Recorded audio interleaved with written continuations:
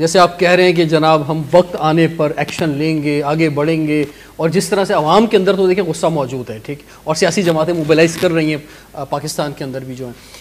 तो अगर और रात गए इसराइली फ़जाइया की गजा पर मजीद बमबारी। वैशियाना हमलों में शहीद फ़लस्तियों की तादाद चार हज़ार सात सौ से तजावज़ कर गई। शाहरा अमन इजलास में अरब ममालिक ने फ़लस्तियों की जबरी बेदखली को मुस्तरद कर दिया।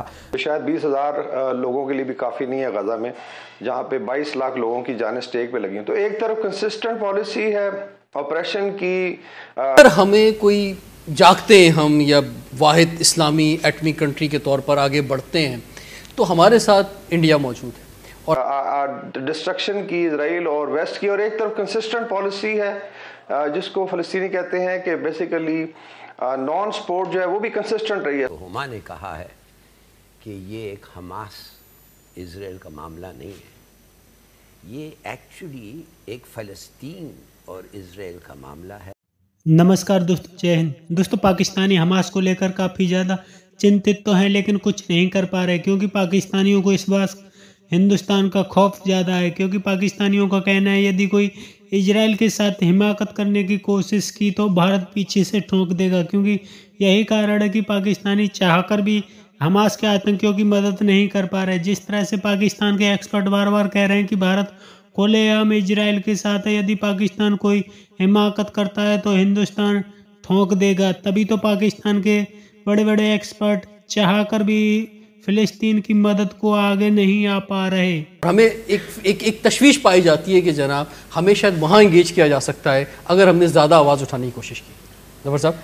आपका मतलब क्या आप कहते हैं कि हम दब जाएँ डर जाएँ हिंदुस्तान? नहीं उधर उधर इंगेज किया जा सकता उनका पिट्ठू बन के हमारे पास खिलाफ कुछ करेगा? हाँ। देखिए ये बहुत ये दिस इज़ कॉन्स्पिरसी थ्योरीज की तो कोई हद ही नहीं है। हाँ। आयशा जलाल की एक किताब है जिसमें वो कहती है पाकिस्तान इस कॉन्स्पिरिस्तान ठीक है? और हमने चूड़ियाँ भी नहीं पहनी ठीक। कि इंडिया हमें कुछ कर देगा। I don't think any of this is happening लेकिन जो अच्छी डेवलपमेंट्स हैं हम उनके ऊपर निगाह नहीं डाल रहे। अच्छी डेवलपमेंट ये है कि ईरान और रियाद हम्म। की रिस्पॉन्स मिलकर आई है। ये ये ये, ये अच्छी डेवलपमेंट और मेरे ख्याल है कि इसको आगे लेके जाने की ज़रूरत इसी तरह हमास और हिजबुल्लाह भी एक साथ मिलकर चाइना एक नॉन मुस्लिम मुल्क है हम्म। लेकिन वो इस पूरी सूरत हाल में एज अ मीडिएटर सामने आ रहा है। प्रो पीस कंट्री सामने आ रहा है। और रूस भी। रूस भी। अब तो मेरा रूस ने यूनाइटेड नेशन जनरल असेंबली का सेशन कॉल किया है। आपको पता है एक बड़ा इंटरेस्टिंग फिनोमेना है।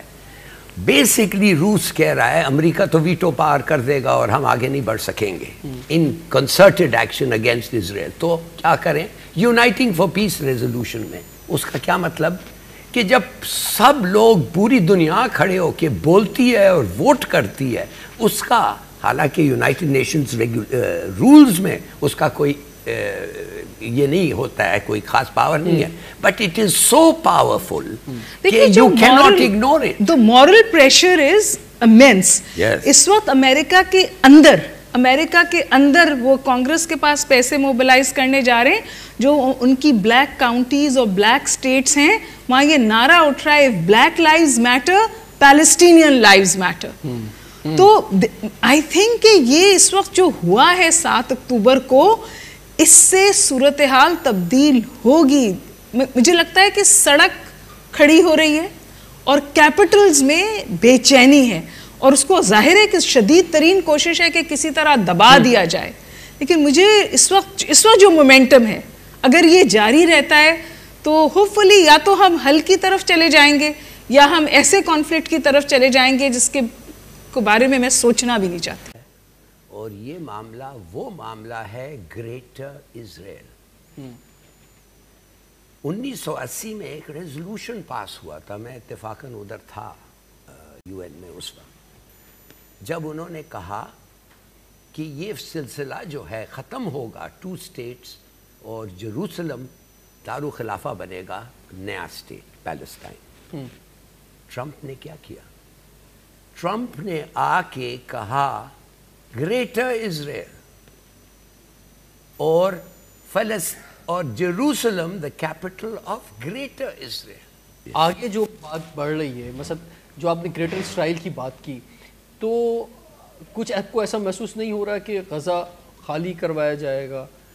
ये फ़लस्तीन जो रह गए हैं वहाँ पर इन्हें कहीं और किसी और जगह बात करवाया जाएगा? खोलो दरवाज़ा। जी दरवाज़ा खोला जाएगा। कहा था खोलो। जी। मिस्र ने कहा नहीं नहीं लेकिन अगर दरवाज़ा खुल भी जाता है तो और सारे लोग चले भी जाते हाँ। हैं तो इसका मतलब तो ये जो एक रेजिस्टेंस अंदर से हो रही है शहादतें ज़रूर हो रही हैं लेकिन रेजिस्टेंस भी हो रही है तो वो तो फिर एक एक एक मुकम्मल स्टेट जो इसराइल की बन जाएगी अगर इजिप्शियंस ने कहा कि आ जाओ हम्म। तो ये सब चले जाते कौन ठहरना चाहता है बीबी बच्चे बॉम्बिंग गोइंग ऑन जब ये चले जाते उनके रिप्लेसमेंट कौन आता यहूदी आते। जैसे सेटलमेंट्स में। जी जी। उनको निकाल के खुद आ रहे हैं। दिस इज़ यही सब मैं कह रहा हूँ यही हाँ, मैं लेकिन मैं आपसे गुजारिश करूँ कि ये it's easier said than done ये जो छोटी सी पट्टी गज़ा है हम्म। जिसको हम largest open prison on the face of earth कहते हैं इसमें कोई वन मिलियन लोगों की आबादी है। जी। दुनिया का कोई मुल्क इतने लोग नहीं ले सकता। हम्म। बिलखसूस मिडल ईस्ट में तो पूरा डेमोग्राफिक फ्रेमवर्क ही तबाह हो जाएगा। दूसरी बात मैं आपसे गुजारिश करूँ रेजिस्टेंस मैं दोबारा आपसे कहती हूँ हमास ने ये सोच समझ के किया है। रेजिस्टेंस वहाँ पे अलाइव है। इस वक्त हमास जो है तकरीबन उसने प्रोवोक किया हुआ है इसराइल को कि वो अर्बन वॉरफेयर की तरफ़ जाए। यानी अभी तक तो वो एरियल बॉम्बिंग कर रहे हैं ना? वो चाहते हैं कि वो ज़मीनी रास्तों से दाखिल हों अपने लोगों को छुड़ाने के लिए।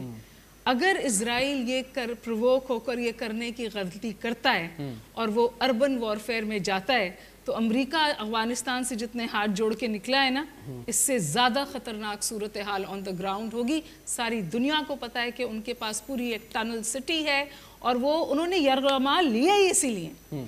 उन्होंने और अभी कुछ इसराइली यरगमाली मारे भी गए ताकि वो उसको एज अ बारगेनिंग चिप इस्तेमाल करें देखिए उन्होंने कोशिश की जंग बंदी हो जाए यूएन में मूव हुआ जंग बंदी हो अमेरिका ने उसको वीटो कर दिया।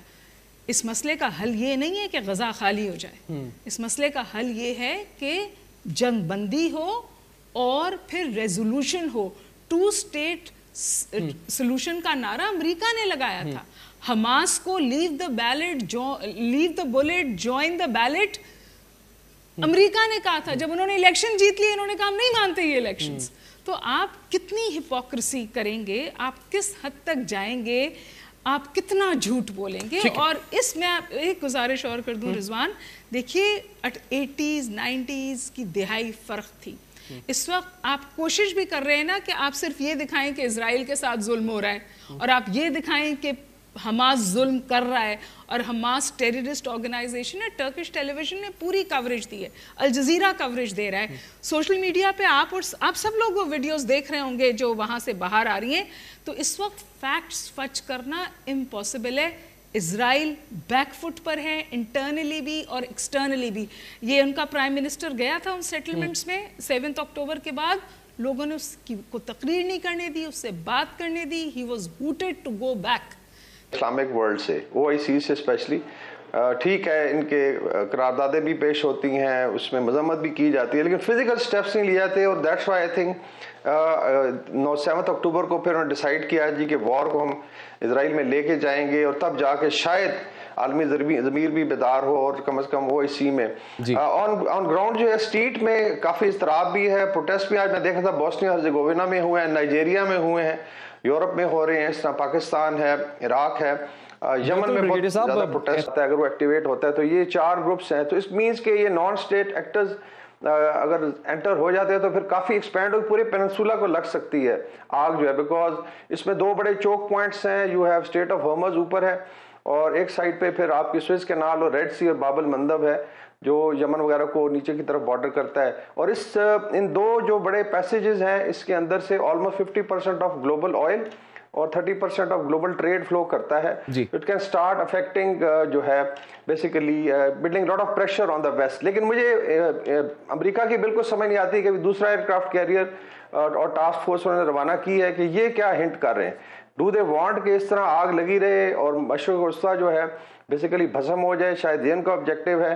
और दूसरा ये है कि इसराइल को जो बेसिकली इस वक्त एक फुल फ्लेजेड टेररिस्ट स्टेट बन चुकी उसको आप बैकअप करें against the entire international community other than the west I was say developing तो दोस्तों, पाकिस्तानी हमेशा से अपने एटम बम को लेकर बड़े फुंदकते हैं क्योंकि इनको लगता है कि इनके पास एटम बम है, दुनिया में किसी के पास एटम बम नहीं है। यही कारण है कि लोग बार बार कहते हैं कि सिर्फ़ मुसलमान देशों में सिर्फ़ पाकिस्तान के पास ही एटम बम और दुनिया पाकिस्तान की तरफ़ देखती है। उसके बावजूद भी पाकिस्तान आज फ़लस्तीन की मदद नहीं कर पा रहा क्योंकि इनको लगता है कि फ़लस्तीन की मदद करी तो भारत पीछे से पाकिस्तान को ठोंक देगा। यही कारण है कि ये लोग नहीं चाह पा रहे। जिस तरह से पाकिस्तानी लगातार कोशिश कर रहे हैं, वो पाकिस्तान के बड़े बड़े एक्सपर्ट बयान दे रहे हैं कि इजराइल पाकिस्तान से डरता है, लेकिन पाकिस्तान चाहकर भी फ़लस्तीन की मदद नहीं कर सकता क्योंकि भारत पाकिस्तान को ठोंक देगा। यही कारण है कि जिस तरह से पाकिस्तान बड़ी बड़ी बातें तो कर रहा है, लेकिन कुछ कर नहीं पा रहा। मदद तो भेज दिए लेकिन वो भी ना के समान, क्योंकि चाइना से मिले पैसे पाकिस्तान को हमेशा से बचाते हैं और पाकिस्तान दिवालिया होने के किनारे पर है। आपकी कह रहा है कमेंट में ज़रूर शेयर करें। यदि आप चैनल पर नए चैनल को सब्सक्राइब करें। वीडियो पसंद आए तो लाइक करें, कमेंट करो और शेयर करें। जय हिंद, वो वंदे मातरम।